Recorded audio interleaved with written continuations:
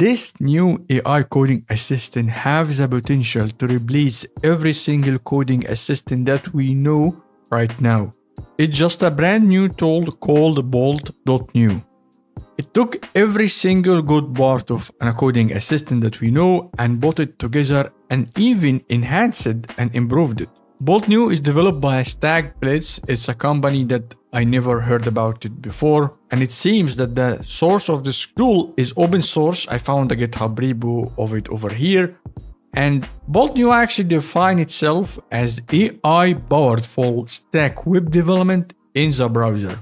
So it seems that it's heavily focused on the full stack development part, which is kind of my stuff that I love to learn about. And here it answers a question that people might ask, what make Bolt New different? Here it say that Claude AI and V0 and all other tools are incredible, but you can't install packages from backend or edit code. That's where Bolt New stand out. And this is the list of what can it do. Install and run NPM tools and library like Vite, Next.js and more.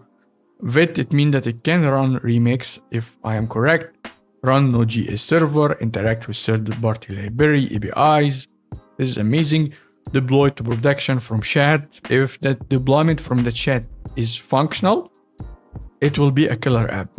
Share your work with a, a URL. This is, is seems like it's promising a lot. I'm gonna test it out and see if it's correct or not. But I found there is a tips and tricks that we should follow when we use this tool. The first one, be specific about your stack. So be specific of what you want. Do you like Astro or Next.js? Maybe you want to use Vue. Who mentions them in your initial prompt to ensure Bolt scaffold the project accordingly. Use enhanced prompt icon. It seems there is some sort of enhance for the prompt in the browser tool itself scaffold the basis the basic first then add the feature. So i'm gonna start simple and build on top of it and add the feature that i want. And finally batch simple instruction. Save time by combining simple instruction into one message. So don't give them a small bytes gives them a big chunk of instruction. Enough chit chat. Let's test this tool right now I have here this simple prompt, create a hotel booking app named Bravago, like Bravago using Next.js and Tailwind with dark colored, modern design, add fake data including images, names, prices, and description for the hotel bookings. And I'm gonna follow the tips and enhance this prompt. I think this is how you enhance a prompt by clicking this icon. Let's see how it will enhance it. Okay, Oh, make it longer. So create a hotel booking app named Bravago using Next.js 13 with the app router. Okay, this is a very detailed. This is a really good implement sleek, dark theme, modern design with subtle animation, including responsive layout for the mobile and desktop. Okay, it added the responsive automatically. Add fake data for at least 10 hotel. This is fantastic with high quality images nicknames, varying prices ranges.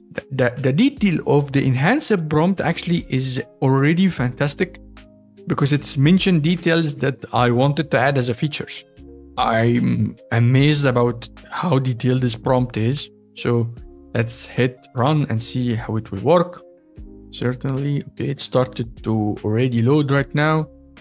It's a little bit slow now Okay, it's open this kind of editor on the right, writing the code for the first page. I think it is layout. Then it moved to the first page.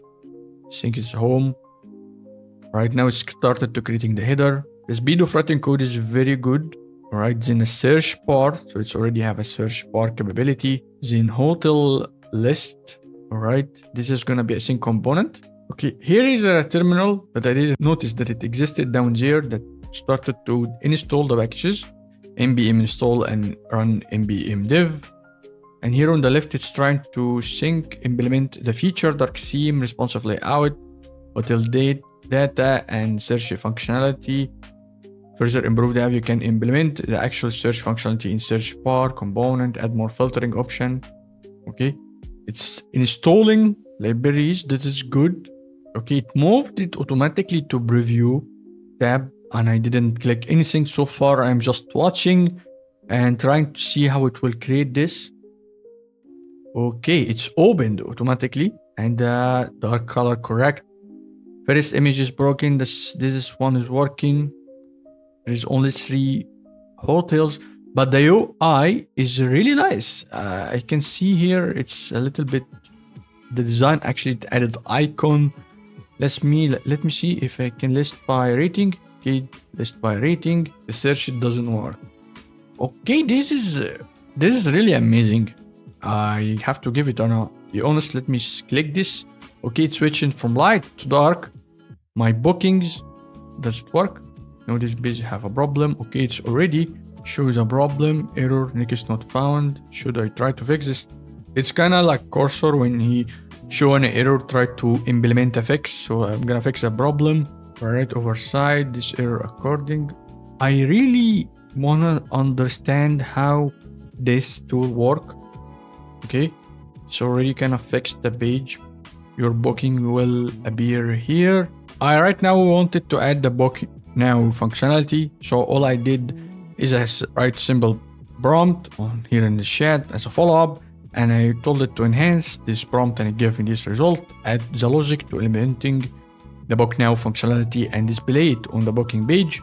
Please include any necessary component, state management, and API integration if required. I'm gonna hit enter and see how it will work. It will be nice to see what happened when it's load, like it's a syncing process or what it do exactly.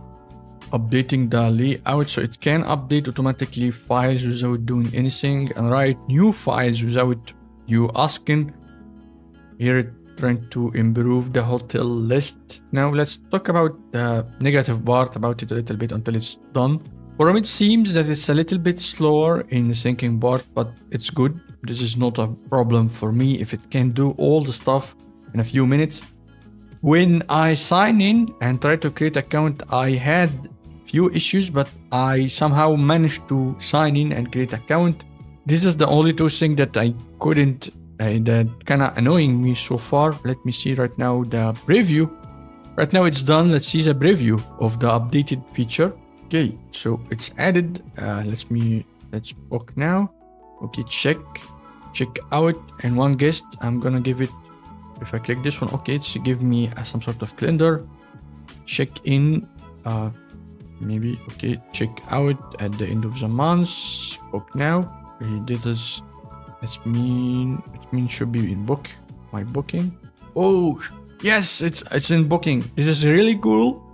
So it's adding the booking right now i can add another one book now uh, the calendar. Let's check in in 14 of the months and go out in the next one. I can increase and decrease. I don't think it can be negative yes. You can't go in negative. This is really cool and right now the guest is real book now if I went to my bookings I'm gonna find them I can cancel this one and keep this one back to home let me search for a one it's the searching is not working so I can fix this. I can sort by rating and prices, but, but this is really amazing. So far, I don't know yet how to get the code. So I think either I have to deploy it or open it in StackBlitz. I think if I click open on StackBlitz, okay, this is the bar that it have the code.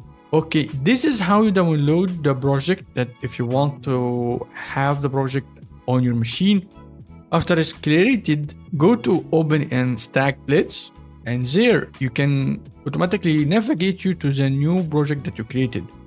As you can see here, it's working on installing dependency and running all the stuff, but there is a small icon over here, download the project. This icon is what you need to click on if you want to download this project and make it work on your local machine. So is it also it's here it's kind of responsive. I didn't notice this. It's responsive for mobile and desktop. Let's take a look to the package JSON. Okay, these are a ton of UI over here, libraries. This is a lot of libraries here. I don't know why, but you can also create a repository. This is. This is nice. It's like a kind of code editor right here. I think you can write whatever what you want Something else that I noticed that you can start a new chat like ChatGPT and here it told me what kind of chat that I have, Bravago hotel booking app. So if I started new chat, it will start from a clean and I can create a new app. I'm gonna now try the last thing that it promised is deployment and see if it can deploy actually the stuff that we created over here. I mean that hotel Bravago that we created. And let's see here, deploy the application certainly deploy the Bravago Hotel. It's gonna push it. Okay, it seems that it actually deployed the app that we created over here. I mean, like it's still the image is broken, but it doesn't matter. And let's see, booking is working, home is working, switching lights working. Let's book now. Give it a calendar. All right, check in, check out. I don't think that if book now. Oh, it's working. This is amazing. This is really amazing can cancel booking. So it delivered in everything that it said.